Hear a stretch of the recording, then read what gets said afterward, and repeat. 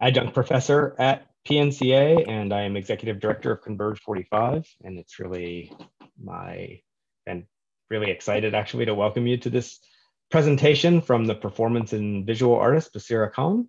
Uh, this is co-presented with Converge 45 and PNCA's Hallie Ford School of Graduate Studies, MFA in Visual Studies.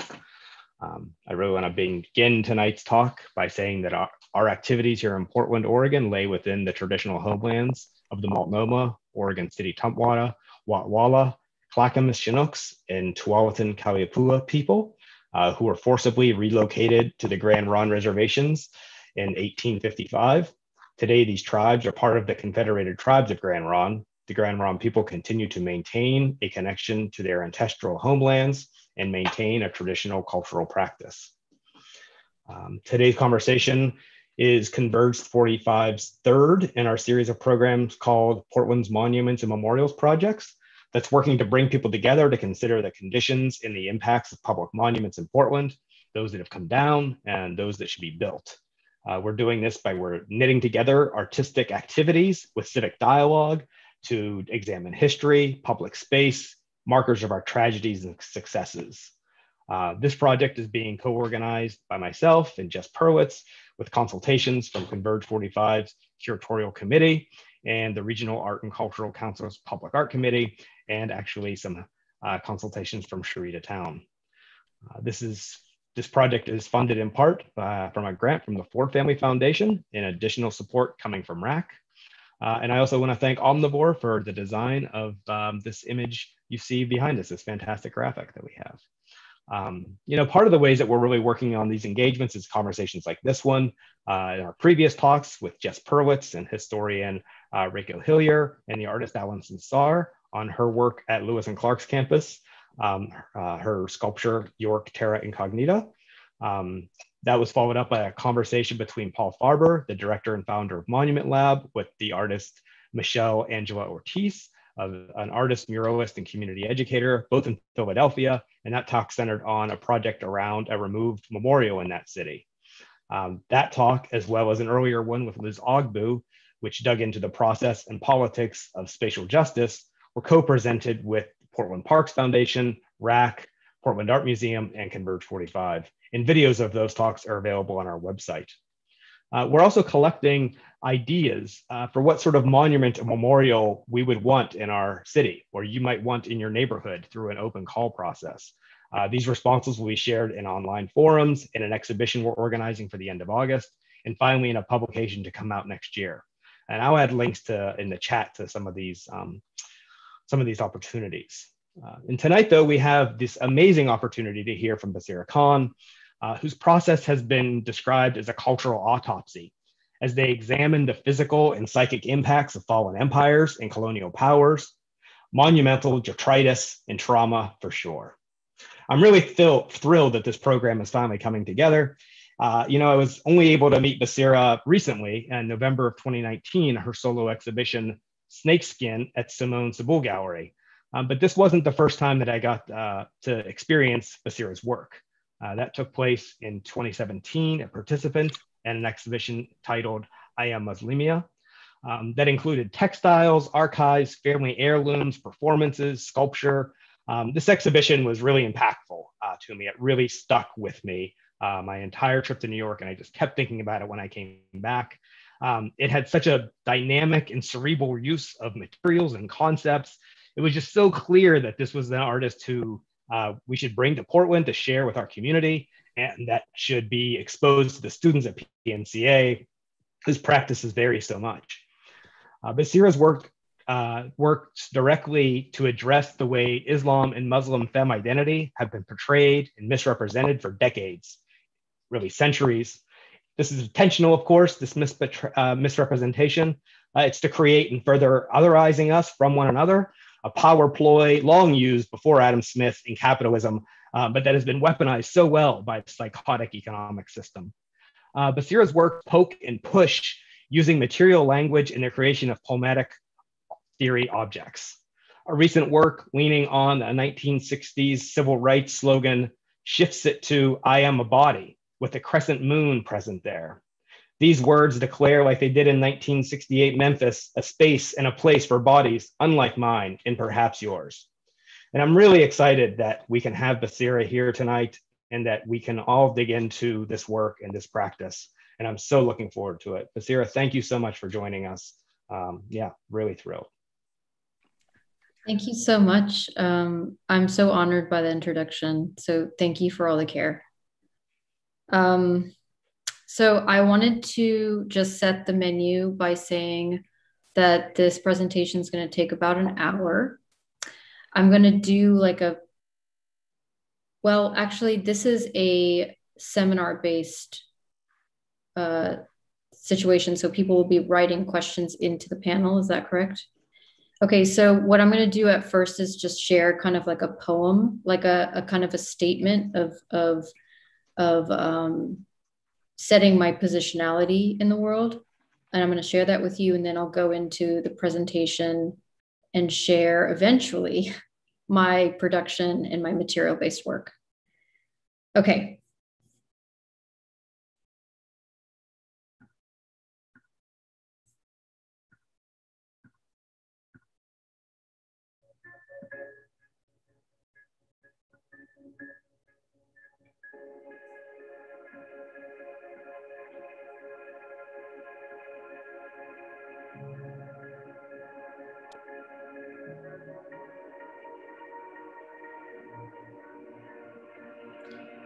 have some elbow room in this cannon?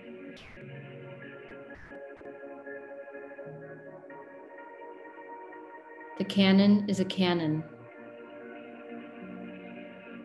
a body, an armchair weapon, one that refuses my care.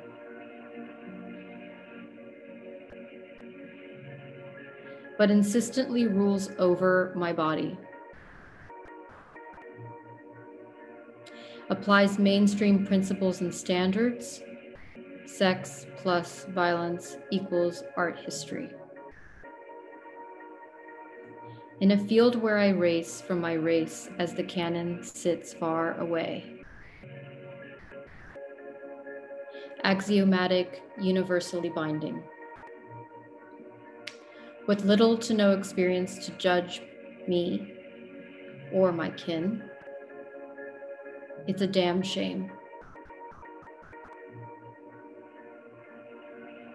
There is no legacy that I may follow, and my pain is my intimacy.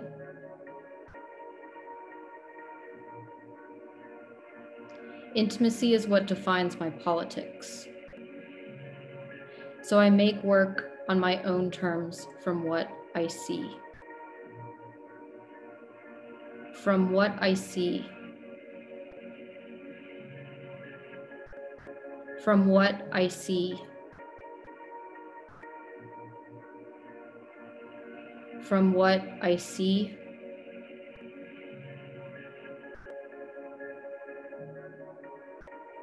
From what I see. from what I see.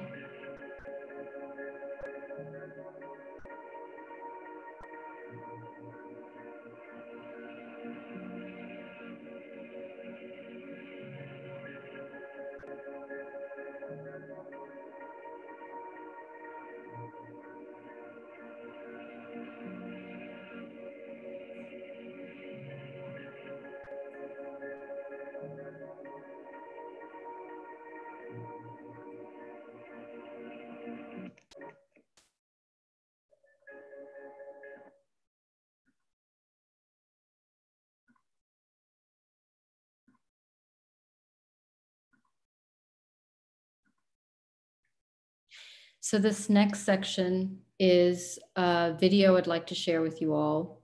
It is an excerpt from a really bad TV show. And it is a, the title of the TV show is The Agency from season two, episode one. It's called French Kiss. Um, and we will watch this together. We're going to go on this journey together. It's about three minutes. And please keep some questions in mind um, one of the reasons I keep showing this. One more time about the raids. One of the reasons I keep showing this particular clip is over time, it just keeps gaining more and more relevance. Um, and there is an in, in a completely um,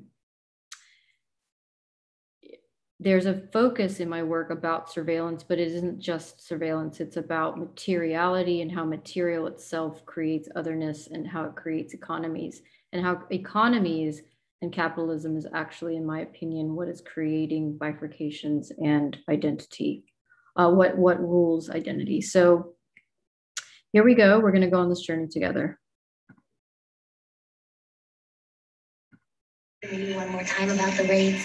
The box is nine ninety five a month, but if you sign up for six months and pay by credit card, it drops to seven fifty. Too much math for me. Right. Well, Etsy said it was at two forty five a month. What would you do? She likes him. He was not interested in her. He's quite the salesman. One of his many talents. Subject to perjury. We got it. Do I have to decide today? Oh, of course not. Just uh, take the form and let us know. This form requires a lot of information. This doesn't work.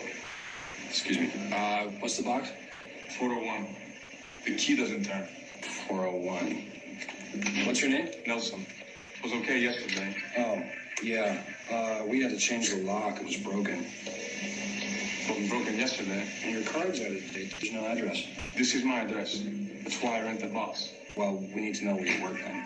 Brahim, I thought that was you. Who the hell is that? You followed the subject in. Check Face ID. It's been a long time. Don't you remember?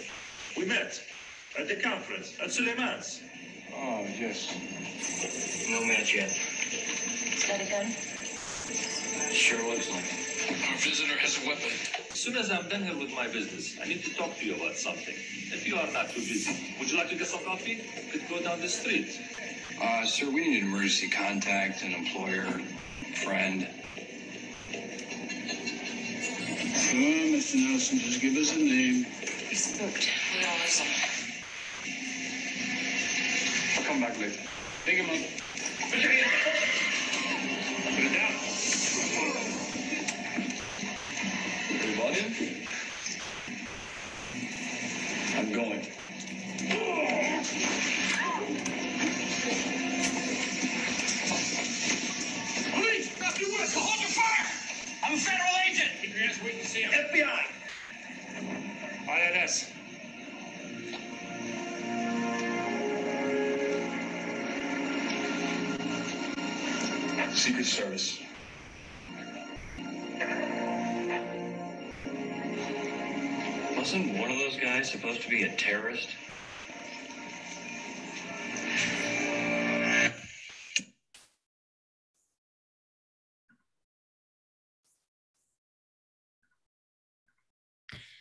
So um, I think around 2015 to 16, early 17, I was being asked to do a lot of work um, about the confusion of of Islamophobia, xenophobia, anti-blackness, and in, within museum spaces, I would do a lot of talking and um, proposing terms.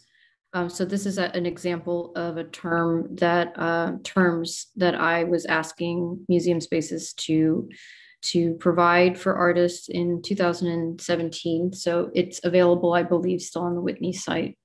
If any of you are interested in seeing that manifestation. Um, I was creating uh, workspaces, uh, spaces for people to start to understand the way that uh, policies are oftentimes manipulated for publics to not understand actually what the policies are demanding of people and how they're bifurcating people and taking rights away based on titles that seem more utopian than they seem dystopian. And so we would get together in groups um, within actual like uh, gallery spaces that weren't having exhibitions. And we would you know do group talks. We would talk things through. We were trying to understand the situation at hand um, especially after the 45th president um, came into office and this was all also work that i was doing before um, the participant inc show in 2017 that um, Mac was talking about earlier. Um, some of the work that I was doing before that initial exhibition, to be honest with you, kind of like it was my, um, uh, you know, kind of cotillion in a way. It was like the the the participant show was kind of like this first time that I had the guts to to share my work. Um, so before that, I was kind of doing quiet work. I was trying to understand my positionality, and I was doing this thing that I call cards. And cards is like arranging all of these personal effects and personal archives together to make meaning. Because I was trying to kind of find traces of where I come from, um, having been uh, dislocated and not understanding my heritage. So the circle that is around my uh, my father, and this is one of about 30 uh, natives um, that that created the first school, the native school in Bangalore, India. It was called Al-Amin College, and it's now been absorbed into the Bangalore University. Um, so this is just me trying to make a sense of of again of of like migration, of displacement. Um, my father being Afghani and East African, and then all of that work i wasn't necessarily thinking about this show i did with participant inc in 2017 but i think a lot of that work was um, happening in the background that then led to the material based work that i did for I'm muslima and so one of the things that i made that became the thesis essentially of my practice was um, you know i was thinking about uh, what i would wear at my opening and i started to design my own nike shoe.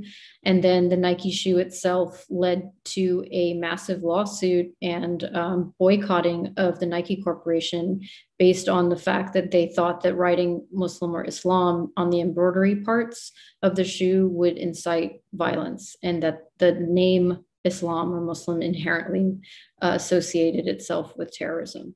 So um, over time, uh, especially after all the travel bans and like the like, um, you know, what I like to call Trump was disassociating from his body and just kind of like pointing his finger at every single group in America, whether it's the Black community, the Jewish community, the you know trans community, the Mexican community, so on and so forth.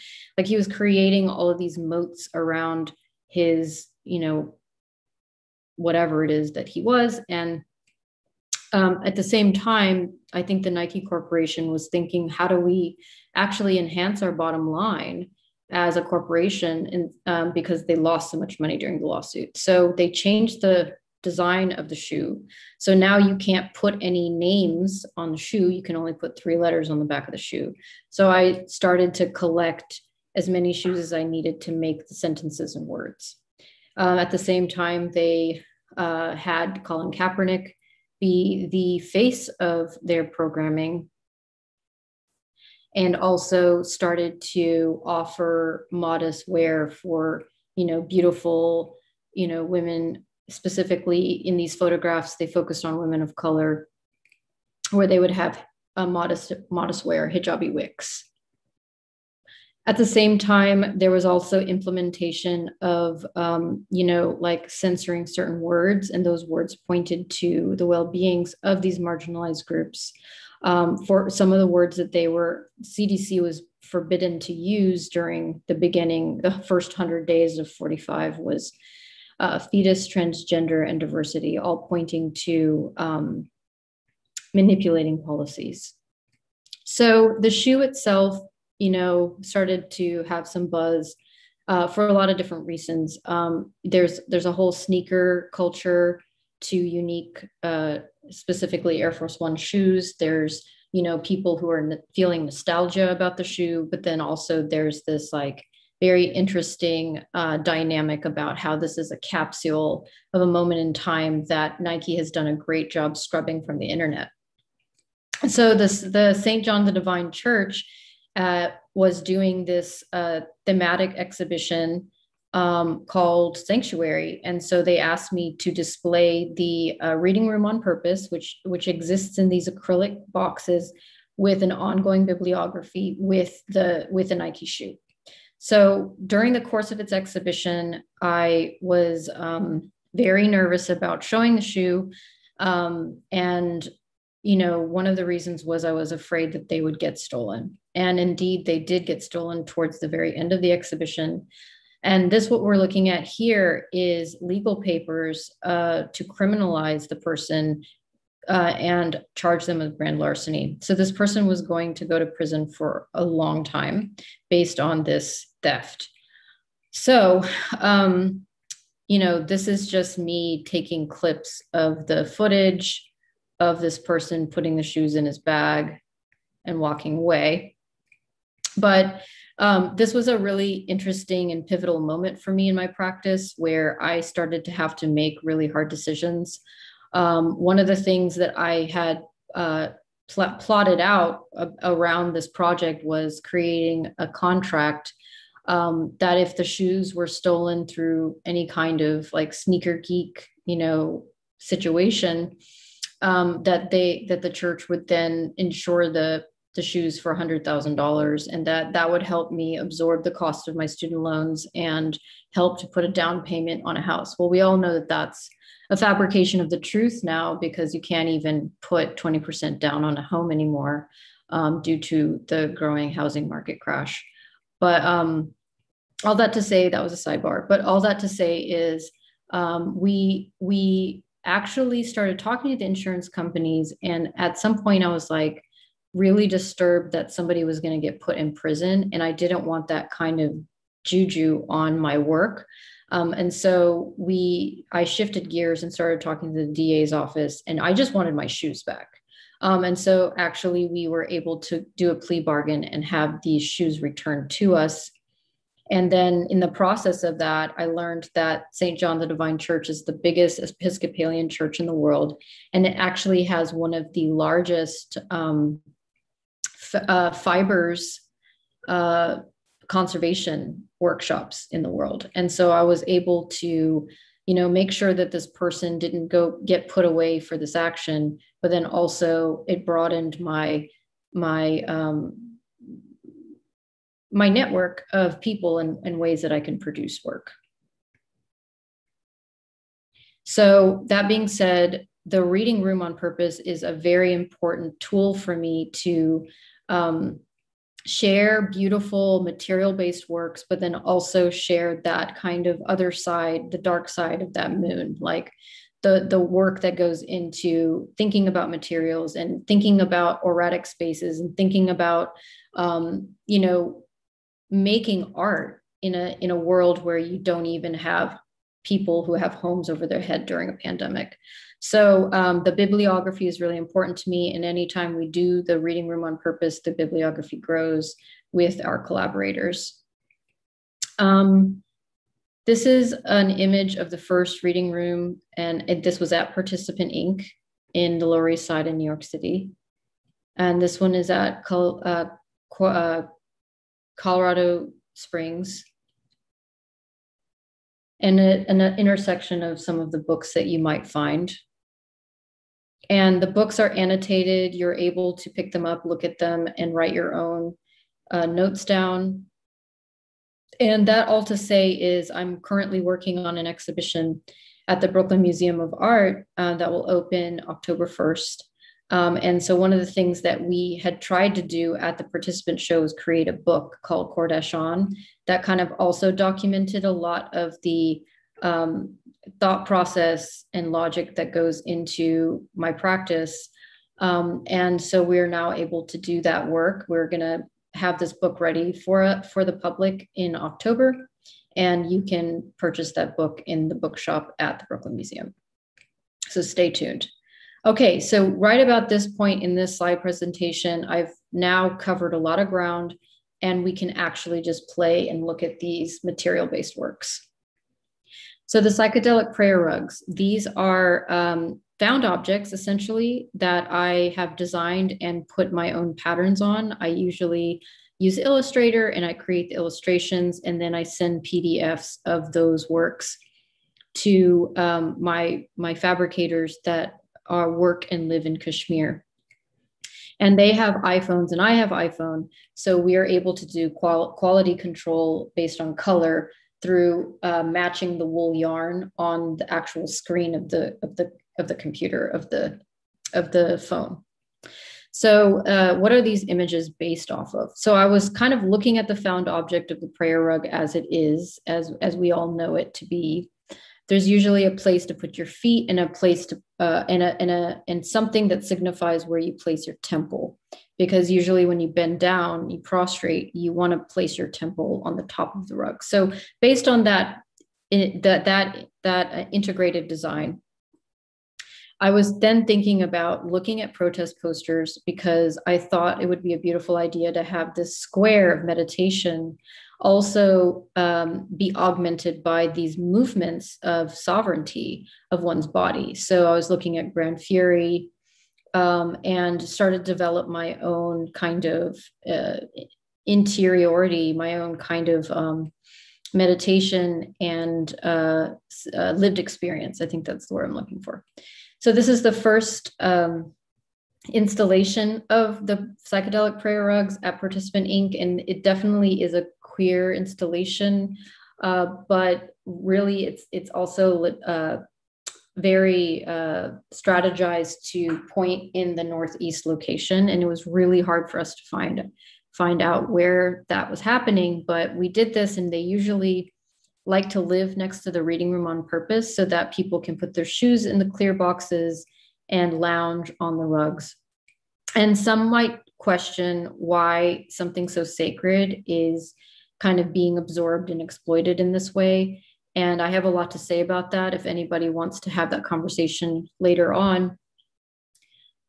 Uh, this is another set of rugs, um, still looking at uh, protest posters and issues of sovereignty And this is a kind of a close, this is a close up of one of the rugs because I wanted you all to experience the this very specific uh, craft work of embroidery that happens in Kashmir. Okay, so we have acoustic blankets, another um, textile work. And you know, it's funny that I never really considered myself to be someone who is that interested in textiling, but I've always been interested in the way people adorn themselves. So, and my mom was a was a fabrics person. Like you would call her something like a fashion designer, but there was nothing like that back in the day. So, um, so in indeed, everything I know about fashion, I pretty much learned from my mother. Um, so anyway, the acoustic blankets is derived from a moment of rec- records, whether they were record keeping of people who are passing away or moving on, um, which is something that you do sometimes in volatile um, economies and war zones because you can never really trust the government to um, actually uh, take appropriate and accurate information. And so my father would do that work for his community. And then I also like would live through these records because I didn't really have any other way to live through um, those experiences of of just like thinking of a time before all of this war or thinking through a time when purportedly something seemed more innocent. Um, so so um, the other thing that I, I wanted to share with you about acoustic blanket is that um, as I was you know, going through the traditions of art school, undergraduate school, residencies, and graduate school, I um, tore this page out of Artforum and kept looking at it and kept looking at it. And then during my thesis, I started to make connections with minimalist art, the theological ideas in Islam, and and sculpture and so that's kind of what swung me into the space that i'm in now and it turns out that like the dia foundation the dia grounds dia beacon i think was actually a mosque before and that like lots of central european music that i was getting into that did work that was more spiritual and sculptural would work with sufi leaders to make their music. And so i started to understand that actually like just like a Rothko painting is spiritual and auratic and about Christian theology, uh, indeed, there were these modes and codes of of Islamic theology in works that I had been looking at for so long as well. But I was kind of growing up in graduate school at a time when thinking about spirituality and theological ideas was really not um, appropriate uh, because I think that my professors thought it was too emotive and they were pressuring us to think about things that were more systemic. And so I did get a lot out of that operation, but then I didn't really let up. So I went down my path and then also took the path of understanding structure as well.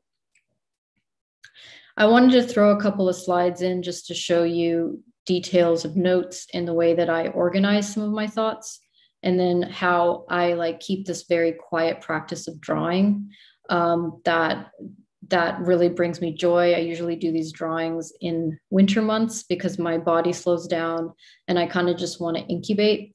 So drawing is a very affordable and like uh, spontaneous practice. And it also helps me define all of these different uh, uh, vantage points and ideas that are coming together. So in the end, this is the object. These are suits that I perform inside of, that I hide inside of, that um, oftentimes when I'm in the public eye, I perform songs that I've created and I do comedy routines. And I ask people to come up to me that say are wearing a red shirt or a blue shirt. And if they feel comfortable, we, we engage and we have these conversations together. They can't see me and I can't see them. It's really just about the texture of our voice or if they let me to pinch their nose. So I would go around in the suit all over, uh, causing havoc and, you know, creating some sense of resistance or disruption, I think is a better word. So uh, I also took the blankets out of the exhibitions and I bring them onto the street during demonstrations. And I would take selfies by extending my hand out and having people take photographs with whomever felt comfortable standing with me this particular moment of photography was the um, 2017 Women's March. I like to just put random ass slides into my um, presentation. This is my mom. But I mainly wanted to just show this to you for scale. Because um, one of the other things I thought to do was because this blanket itself was based on kind of Islamic geometry and um, minimalism, I wanted to go to a place that I saw when I was growing up. So I grew up in Dallas, Texas, Fort Worth, Denton area, and we didn't really have a whole lot of contemporary art at the time, but we did have a lot of Walter Gropius graduate students who who are really really important architects who came and and made all of these huge important buildings all through and through and i saw some of those buildings built and then I would see these big sculptures, art with a capital A, get care flighted in. So this Richard Serra sculpture, and I, I, I proposed like doing this love hate kind of dance with the piece. I brought in singers and um, horn players, and then I also uh, stood at the corner of the sculpture and threw my shoes up until it would lock into the top of the of the sculpture, which obviously was impossible because it is even taller than the tall building behind it. Um, while I was doing that work, a friend of mine pointed me in the direction of a David Hammons work that happened in 1981. Uh, you know, obviously from a completely different uh, point of view, but it was too similar to not add the slide in to augment this conversation. Um, the piece on the right is uh, a Richard Serra sculpture from 1981 in Tribeca. And this slide is kind of just like, boop, you know, it's like all that to say and all that work. I could have just put a nail in the wall and put it in a gallery and it would have been just as great. But now I've I've kind of like imbibed this sculpture with all this performativity and history. The other thing to say about this work is the uh, gold portal entry of this work serves as a transition transitional moment. And um, those patterns come from my mom's side of the family collecting tons and tons of patterns. And so we sat together at one point and started to make decisions on what these patterns would look like. So, braid rage. Braid Rage is a pretty massive uh, installation that is a body endurance practice as well. So at the time when I was actively doing this project, I was doing a lot of training. It was getting a lot of oxygen to my mind and helping me deal with senses of trauma uh, by managing through exercise.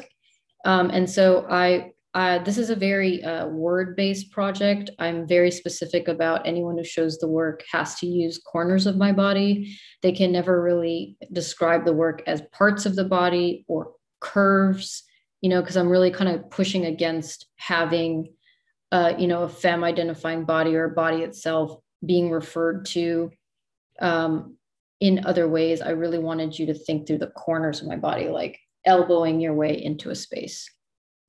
And so um, I would also add uh, parts into the resin molds uh, just to create a sense of DNA so that if these parts ever separated, they would be filled with the same materials, which are hypothermia blankets, cha- wearable chains, and hair. And I've been lucky enough to have performed this work several times uh, throughout several years. And the last time I performed this in 2019 before the lockdown, the University Art Museum at Albany, I was able to do like a pretty good um, documentation of it. So I was able to make a film. This is in this is there in Albany. So I was able to make a film that will then be screened at the Brooklyn Museum. it was also previously screened at the New Orleans Museum of Art during 2020 just details of what you would see if you were to look at the installation. And then I uh, part of the insta part of the performing night where I would climb myself the corners of my body, I would adorn myself with this um, soot, this um, these ash, the charcoal, and um, it's a cleansing tool. Um, and I would do, I would perform, would do, I'd perform this thing that Muslims all over the world do before they pray, before they meditate. And that enabled me to become a drawing instrument and then climb this system and then be able to make a trace of where I struggled to get to. And this is the initial installation at Participant Inc.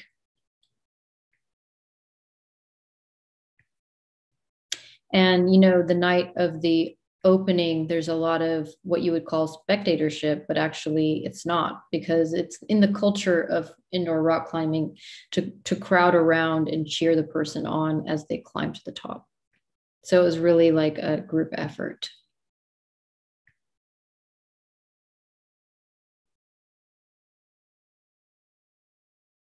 Just different locations of performing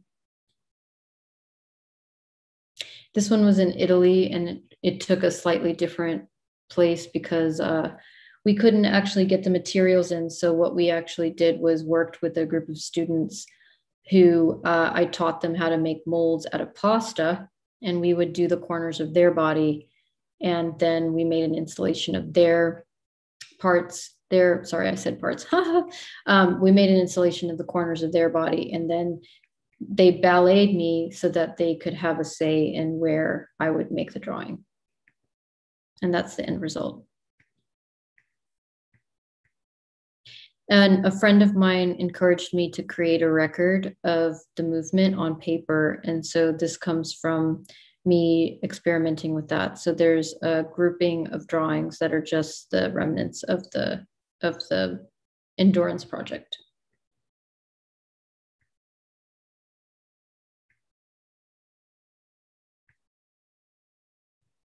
Okay, so seats.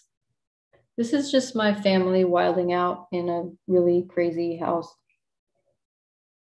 that I grew up in. Lots of seating and panel and ornamentation everywhere. This is an image of my mom just sitting down trying to take a rest at Urban Outfitters.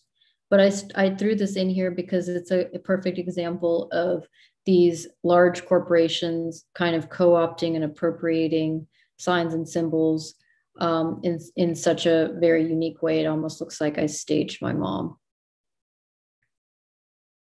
but at the same time, I was looking at powerful figures, um, antiquities, and specifically uh, images of, of these spirits being seated.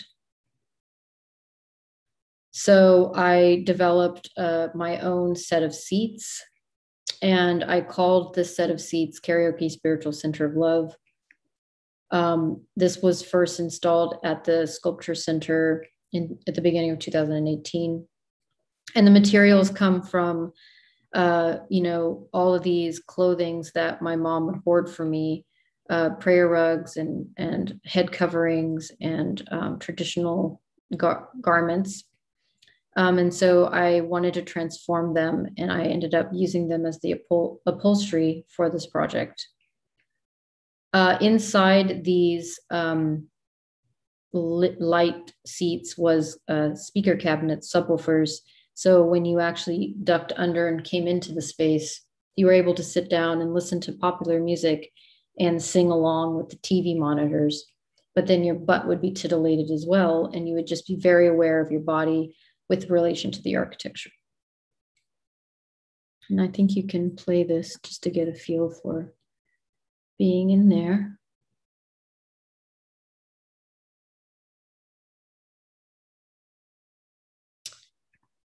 And let's see, how do I get out of it? Okay, so after that, you know, it was site specific. So after that, I started thinking about okay, um, sculpture is about objecthood, painting is about the gaze. And so I wanted to take the tops off of the sculptures and actually place them on the wall to move them from a three dimensional philosophical conversation to a two dimensional philosophical conversation. So I like the idea of denying you a seat, denying you comfort, but then kind of staring at it and waiting for something, like uh, waiting for some sort of um, comfortability that didn't ever come. But then, um, you know, this was also dragging me back into painting, something that I studied in school. And I, you know, kind of had a small career painting when I initially uh, entered into whatever we call this, uh, the contemporary art world. Um, but I actually left art for a while because uh, I couldn't handle uh, the kind of um, disassociation of like knowing the market and knowing the consumption and then not being able to uh, reconcile with that. But after a while, the participant show was the first show that where I actually came in and felt like I was defining my own terms, and which is why I like to start my slideshow with the poem at the beginning.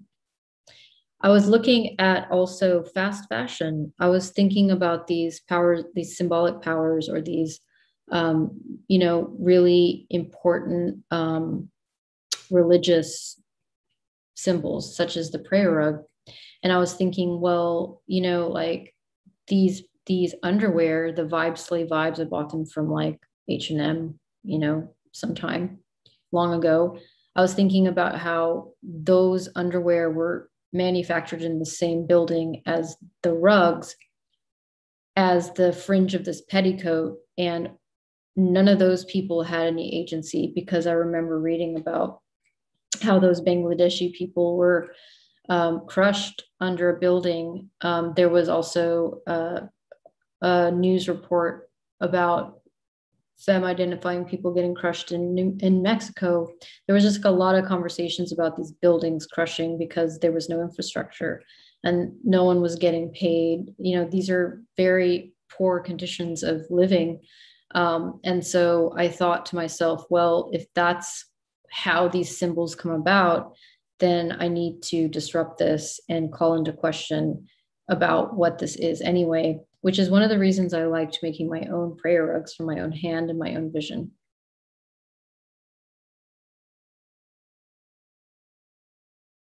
So, all that to say is, I say that a lot, all that to say is, um, I started to intentionally move the project forward and think about the seat for the wall. So all of the works before were kind of like in between the sculpture and the wall. But now I'm like, okay, I'm doing the show at Jenkins Johnson. I want to make sculptures for the wall. So I started looking at like systems of anatomy where clothes hang on your body architecturally, like so, for example, like clavicles and shoulder shoulder blades and whatnot. I was also mining for uh, silhouettes of the chrome of one's head, the dome of one's head, and the way that one adorns their heads with material or the way they rest their hair. So I was taking those silhouettes and then creating these seats from that. And later on, I also started to just think about seats itself and how seats and sitting um, and representation has a lot to do with the way that we have comfort and have safety living in this society. Um, I don't know if you are familiar with this arrangement. I'm sure you do, but these are the House Representatives in the way that they are seated. And so I started to develop, uh, you know, the seat section of the work called House. I know I have nested titles. It can be confusing and it's okay, but just know that this is the ideas that are going into me going from one step to the next to the next. It really doesn't matter what these things are called and when these things were made. I'm just trying to create a kind of logic behind how I go from one material to the next. And so I made these collages and you can see that I'm using the black and white is a family family photography and there's hole punching. I'm hole punching the seat, the House of Representatives out with a leather hole punch and then the color formation in the back is indeed the femme identifying um, uh, representatives that are there now seated.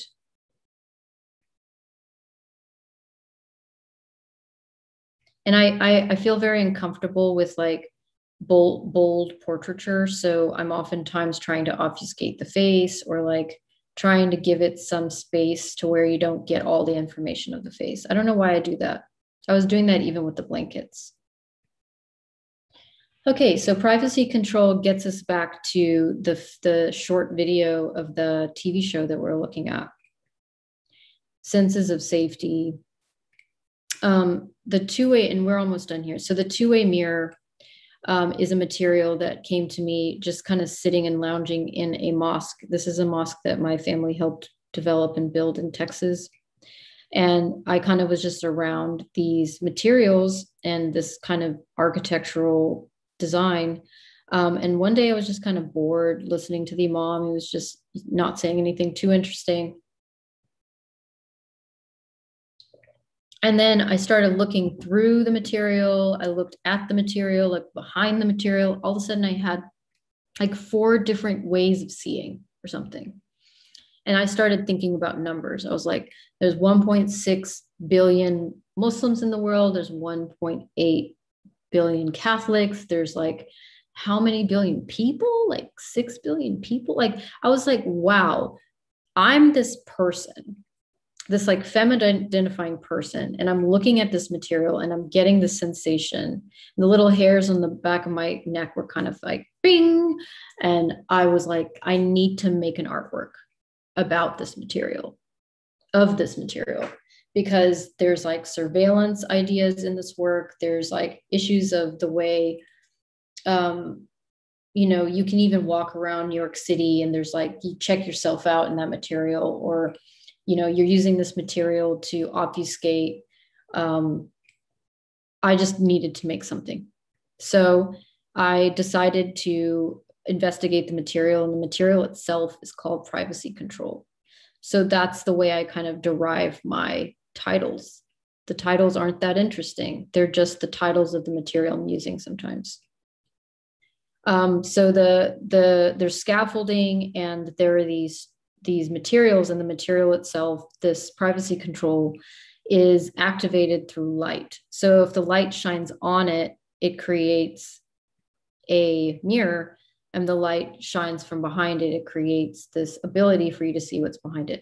So these are the last chapters of the Quran, and they are um, memorized by millions of people. And so I decided to do a feminist translation of the English uh, translation because English is inherently a colonial language. So I wanted to decolonize and feminize the translation in my own words and hide it behind and obfuscate it behind this two-way material. And this is an example of another installation. There's four of those prayers that one memorizes for protection.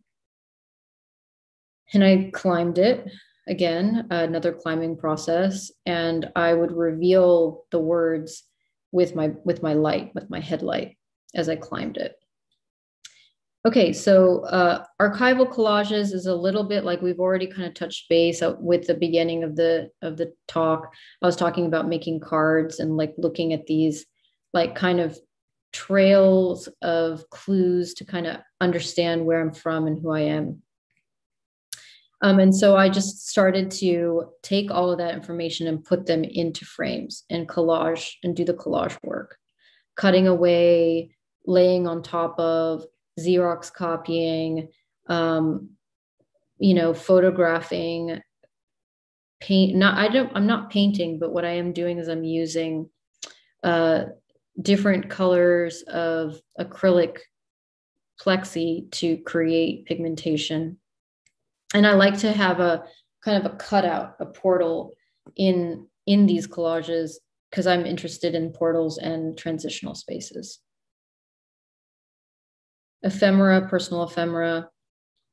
I was also doing that. I, I have like different titles for different sets of collages.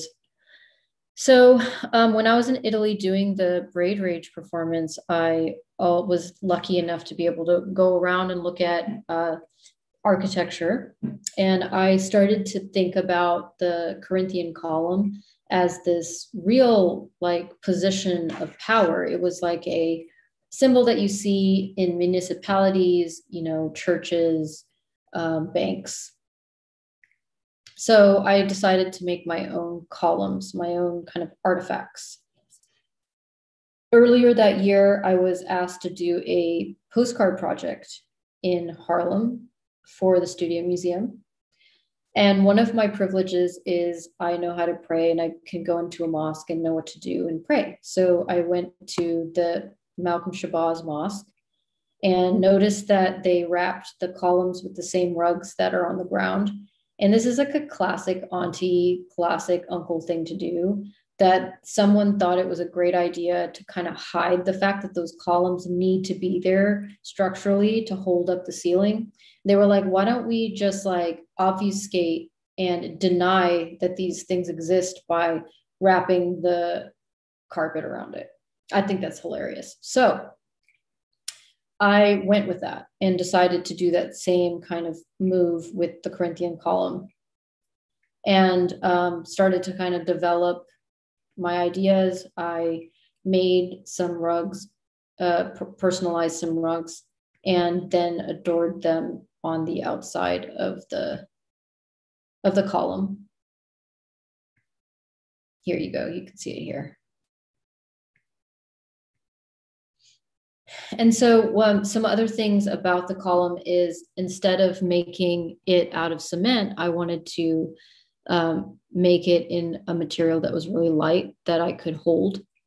Um, so, this is actually Pink Panther material. It's a it's an architectural foam, and I and I love the idea that the materials say Pink Panther. The middle section of the column is empty, and so uh, with these resin plaques. And so you can really see the color shine through with these works. Um, and you can see this in this image, you can see that the light's passing through. Um, this is currently at the Wexner Center. So this work is up in Columbus, Ohio currently. And then I also was able to make collages from the kind of research material that I was thinking through and the snakeskin collages are identified by the strip of of carpet that's around that that's used for the spacers of the installation of the um, collage.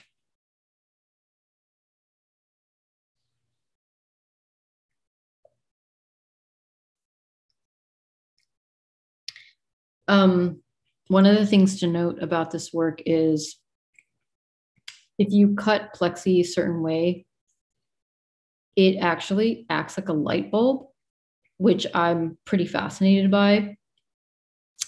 And um, the other thing is there's these little scratch outs that I am using in a humorous way to kind of suggest that I'm redacting information. And so anytime I saw a system of power in these uh, documents, I would kind of scratch it out. And then I took that scratch out and I put it in Illustrator, made a vector, and cut it out with Plexi.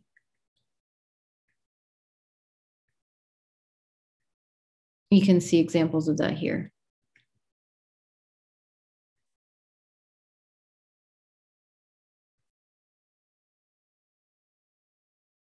So it's layering. It's like collage, photo collage, layering, cutouts of plexi, layering. Um, and then I have this technique um, and I hold all of my artifacts in my hand and I, I body scan, I do scans. Um, and you can tell that if you look at this in person, you can see the that my skin is pushed up against a substrate. It's pushed between two different things. So it creates an effect that is very performative and very um, indicative to one's situation when they're looking for their pos- position of power within an imperial patriarchal society. This is a humorous work in a way. It's the northeastern view of the sky. And I'm kind of just like assuming that there's satellites there that are surveilling us. So I humorously just scratched out wherever I thought maybe the satellites would be existing. But then it actually turned into something else where it's almost like I was graffitiing the sky. So it might end up being a series. It's kind of cool to me. So this is new work. Um, I created a, a body scan uh, situation where I was able to use some cameras to scan my entire body while I was holding objects because obviously using the kind of computer tabletop scanners weren't big enough for that. So I ended up making these collages recently, some of which are showing at Wexner, some of which are going to be showing at the Brooklyn Museum. And you know, this is actually a professional photograph of the work. And one of the things I like about showing these bad images is that you can really see all the different things that are happening in the space at the same time. For example, there's a person standing in front of it. And I like the idea of you viewing the work and always seeing your projection and what's behind you and what's in front of you and what's through the material all at the same time, similar to privacy control. By Faith is a uh, ongoing project based on sleep patterns and living through COVID and having the opportunity actually to make a TV show. So these are backdrops for the TV show. They're now sculptures. Um, those of you who may be able to be in New York, which probably none of you will be able to, there's actually an opening of this new work at Miles McEnery on May 13th.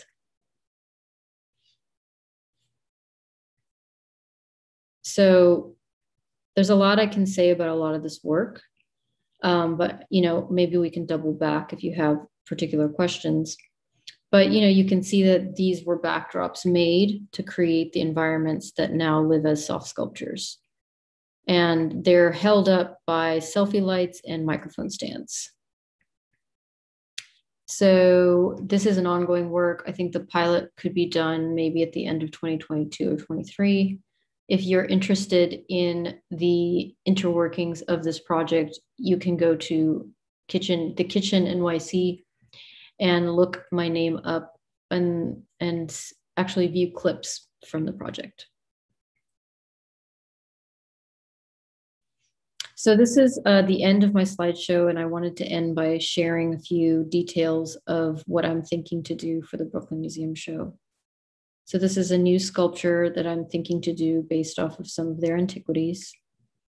This particular um, artifact lives at the Met, but they have similar objects at the Brooklyn Museum.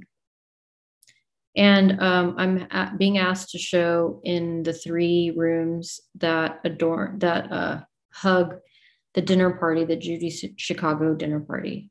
And again, the show opens October 1st. Okay, I'm done.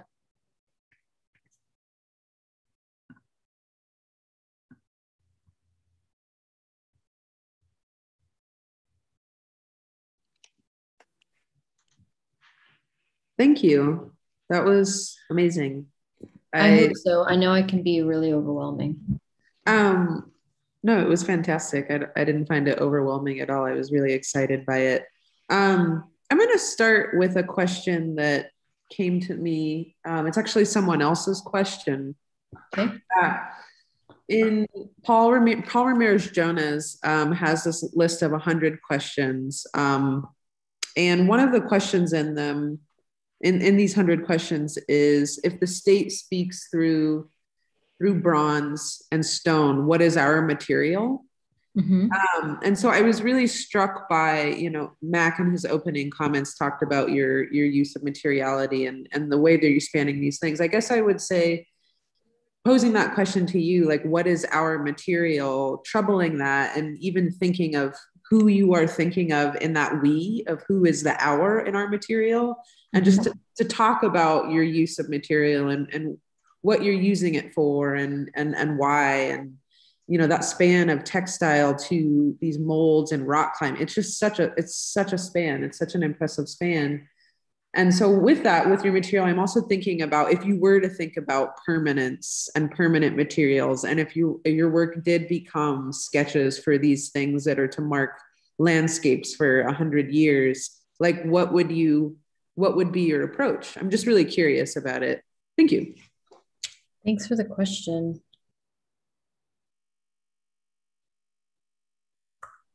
Well it is my opinion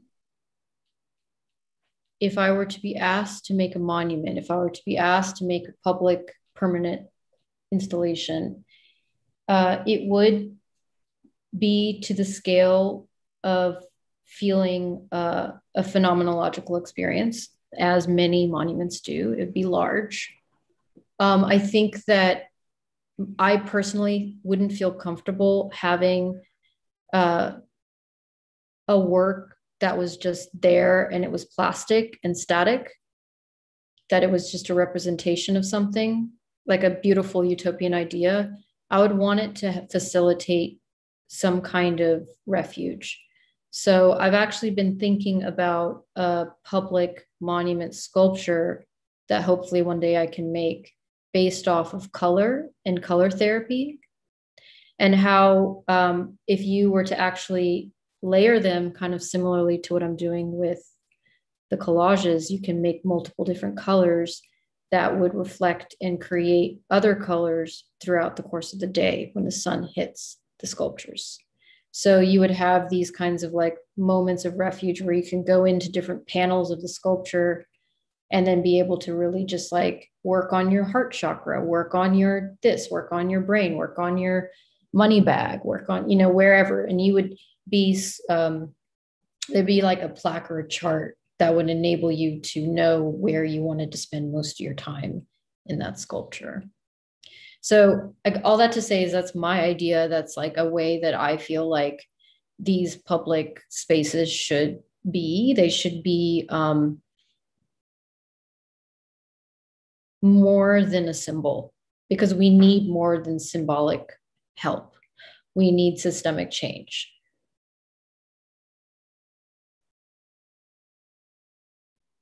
Yes. Hmm. I really, I really appreciate that response in so many ways. Um, the idea that we need more than symbols, uh, I think, really rings so true now more than ever, but for decades probably, right? Like um, the the process of summarizing the issues is uh, a little bit beyond where we are uh, we need to start crafting um, some some support, if not uh, beyond support, even like solutions through I think the creative energies that so many people in our field have.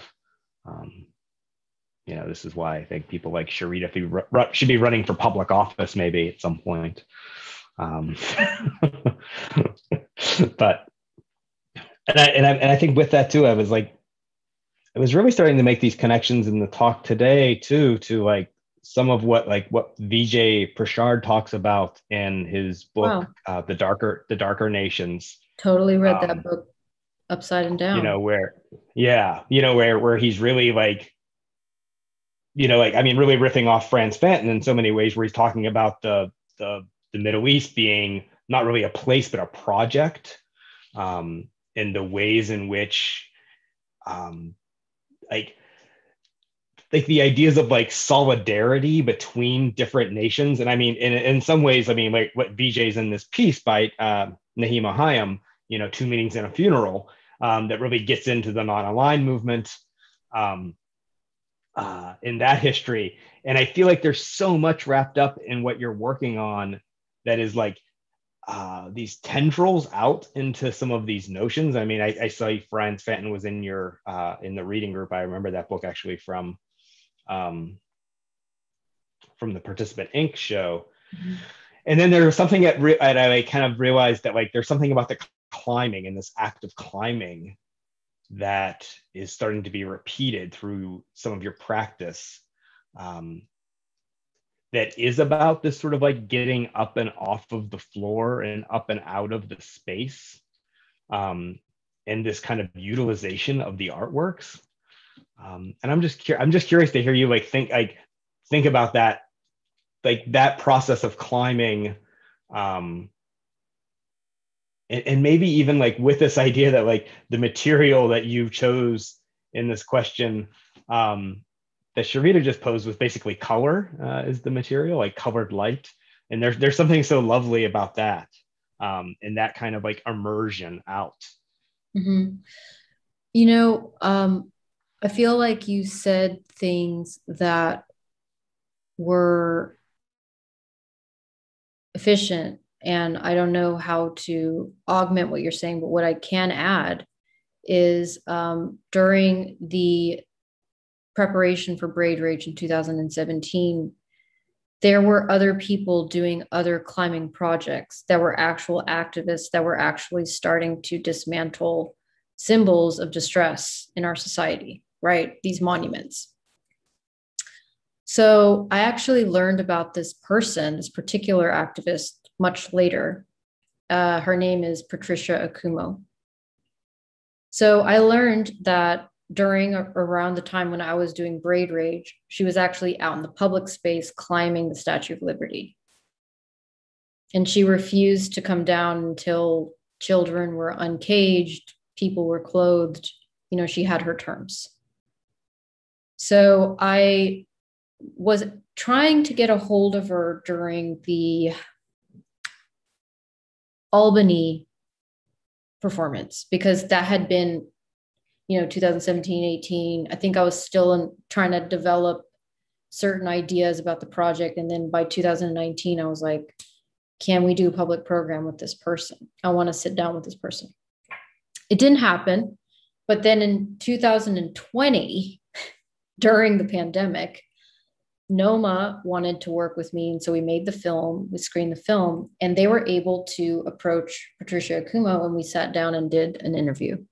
So it's so interesting to sit down with an activist and someone who was kind of doing similar work that I'm doing but we're both working in different niches. Like for for Patricia she's kind of out there doing this public service Uh, and and all that she was really doing was displaying rage for me I was inside these auratic spaces that I chose to be in. And I just want to unpack what that is because I have to make art. Art is the origin of thought, but I don't have to engage with the manic acceleration of capitalism that happens within these spaces. So, climbing inside museum spaces, gallery spaces, uh, institutional spaces is the only way Braid Rage works for me. So we kind of came together to have this conversation about what is art and what is activism and what is the, you know, inverse of that. I don't know if that helps augment what you said. No, yeah, definitely. I mean, I think, yeah, just thinking about that climbing practice. And then I I I do think like kind of past that there is something um, I don't know around these processes of of understanding these histories. And maybe this is maybe back to the kind of Vijay Prashad um, text uh, and like the way like the ways in which especially I, I, I mean actually with both of the exhibitions I saw um, there is this sharing that's you're you're like bringing i think to the audience of of these kinds of um complicated and unknown histories. I mean in some ways with snakeskins with that the german magazine that you were using the collage out of. Um and then this way of positioning them that takes them out of the realm takes their power away um and provides something for us to kind of dig into. And I then I feel like there's something like that with the history that Vijay is presenting in that text mm-hmm. that allows us to to really understand um, the ways in which the leaders uh, in the Middle East and in the quote unquote th- third world were thinking about themselves uh, in the international stage um, and how that is now being you know kind of replaced. Mm. Well, I guess um, I hear you. I hear you loud and clear. And one way that, or one one thing you can add to the reading list is there was a book that Edward Said wrote. It's a collection of essays, and it was about media in America.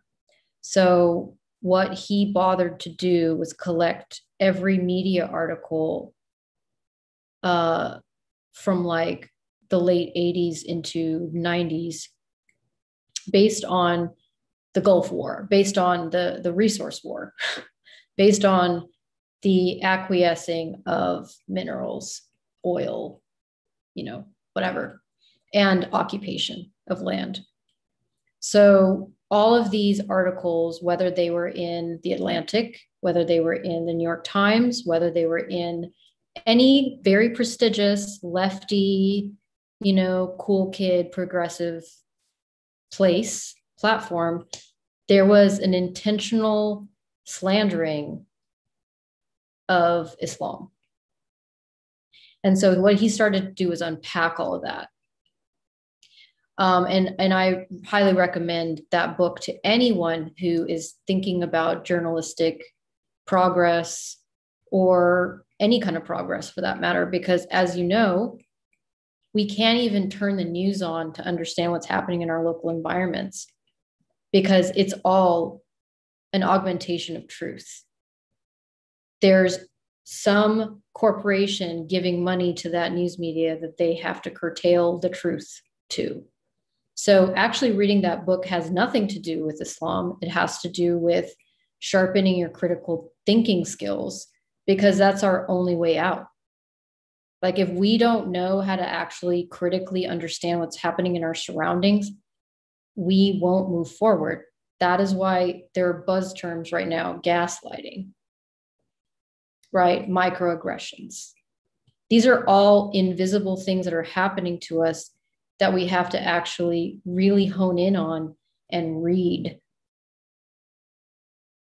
Their skills. So they're like it's almost like invisible hieroglyphics. Um, so i think that that's really what i can say to all that is that um, we have to do a lot of work on our own now.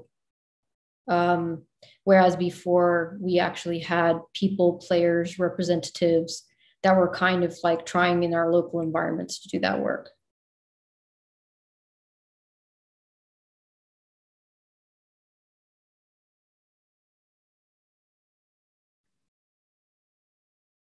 You you mentioned in the the slides of the your current work, the most recent work, um, about the with the backdrops and things. There was a there was a part where you were like, "Oh, I can explain more about this if there's time or someone's curious." And I am curious. I'm I'm I'm curious, like what's being staged there and and why. Just a little bit more there would be really cool to hear about.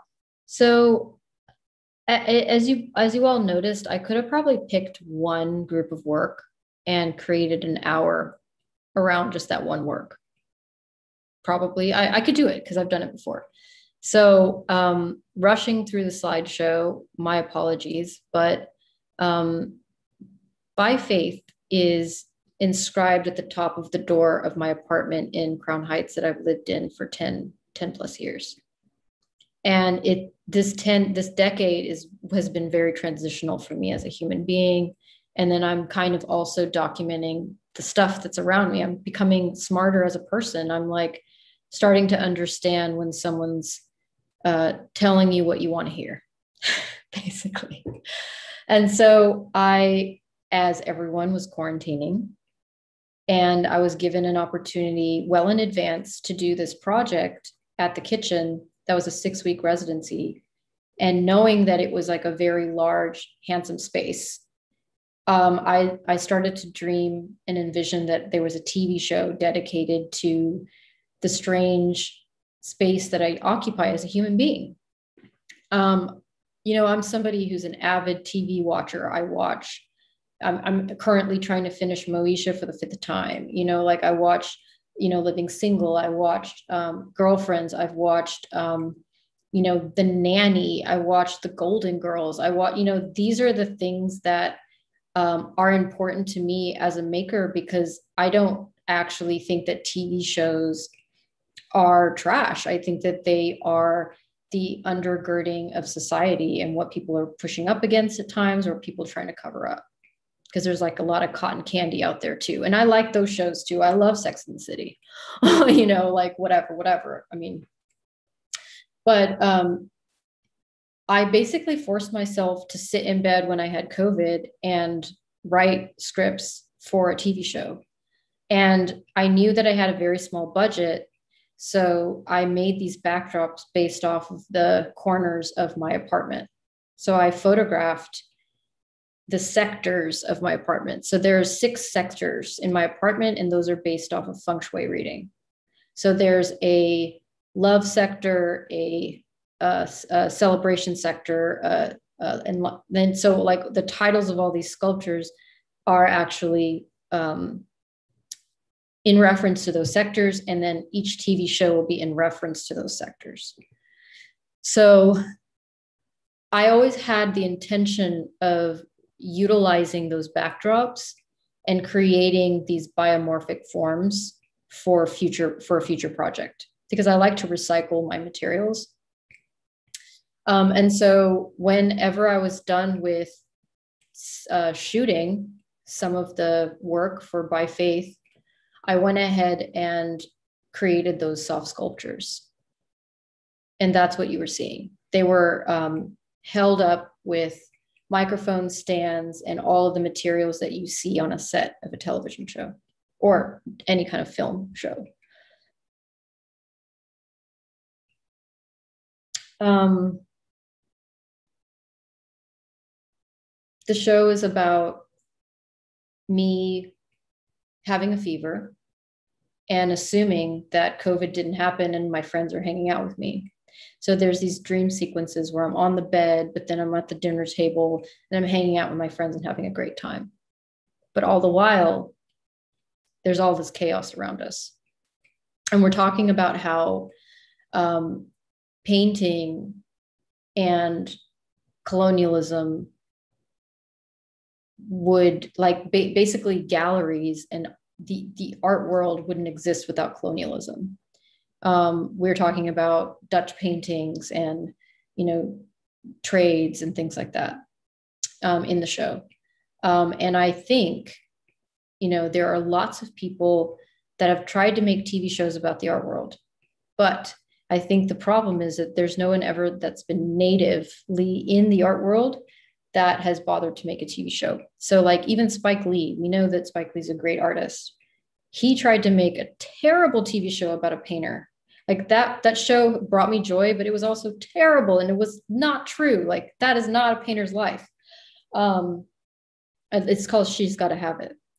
Um, so I just kind of was like, you know what? I can do this. Like, I know these painters, I know these artists, I know the world I I facilitate so many roles in the art world and I'm clever and I, i'm good at writing and I'm I'm I'm charming. I can get people to like enact themselves. And so that's what by, by faith is.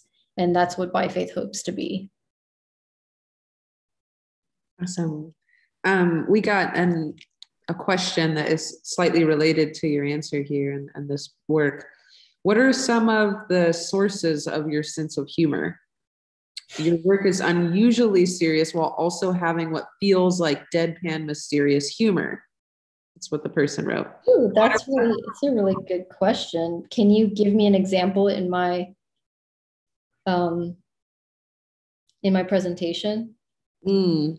I hope that uh, that person types uh, some of the examples here, um, and then and we can. I'll chime in when they do. But yeah, I don't know. I grew up listening. I I, I grew up uh, watching Pee Wee's Playhouse. I um again, like most of the shows that I watch on television are very text heavy and very humorous because they all happen in like Golden Girls happened around a dinner table. Like there was no there there. It was just like a bunch of girls in Miami wilding out, you know, and like they're humorous. Um, my dad was a very humorous person. Andy Kaufman, love. Um, I could have answered this if I had a glass of wine. Um, I think that there's so much pain and across the board psychically we have so much therapy to do to move forward that the only way I can move forward is laughing. And you know, it's funny that most comedians are some of the depressed people in the world because, you know, life is dark and twisted. And my apologies for the work being so serious. It's just that, you know, there are these little containers where you're like, you have an hour and you can talk about your work. But then for me, I'm not talking about my work. I'm talking about my positionality. I'm talking about my life. And there's essays within essays for each move I make. So I have to choose how to flatten into some condensed version about my work. And I also think that I'm never going to be able to talk about my work again. So I feel like I'm running with a knife chasing me or something, if that makes any sense.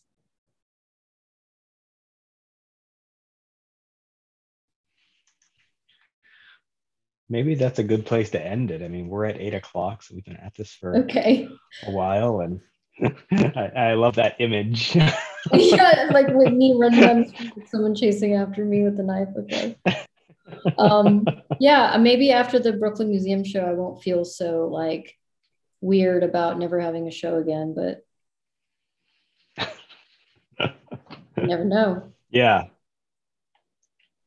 Well, this was so rad. Well, thank- to watch the recording again and just really soak in because you you really packed in so much and and really just there were world within worlds there. And thank you so much for being so generous with your time and um, especially the opening poem. I can't wait to really sit with how much is in there. There's just like you said, yeah. an hour hours within each example. So thank you so much for for your time this evening.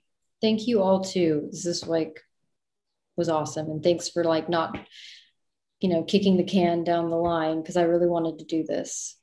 So thank you. Thanks, Mac yeah, I'm super excited we could make it happen. Yeah, and I and I hope to uh, lure you out here to Portland at some point too. So there will be better days.